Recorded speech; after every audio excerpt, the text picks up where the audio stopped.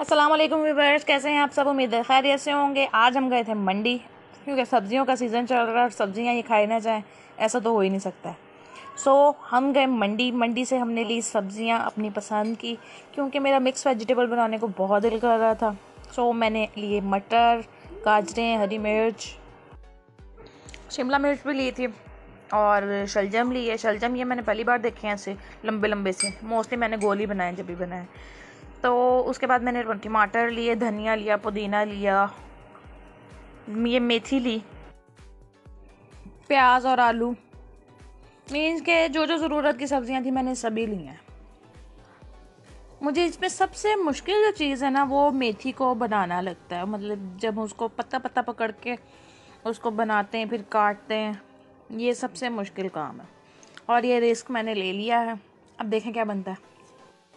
आपकी फेवरेट सब्ज़ी कौन सी है? ये भी बताएँ मुझे। और मिक्स वेजिटेबल कौन कौन सी है जो आप बनाते हैं? मोस्टली लोग होते हैं आलू मटर मूंगरे भी बनाते हैं और कुछ लोग होते हैं आलू मटर, गाजर और मेथी बनाते हैं। कुछ तो सब वेजिटेबल्स को मिक्स कर लेते हैं। आलू, मटर, गाजरें, गोभी और शिमला, मेथी, मूंगरे। आपके घर में कौन सी मिक्स वेजिटेबल बनती है? कमेंट सेक्शन में मुझे बताइएगा।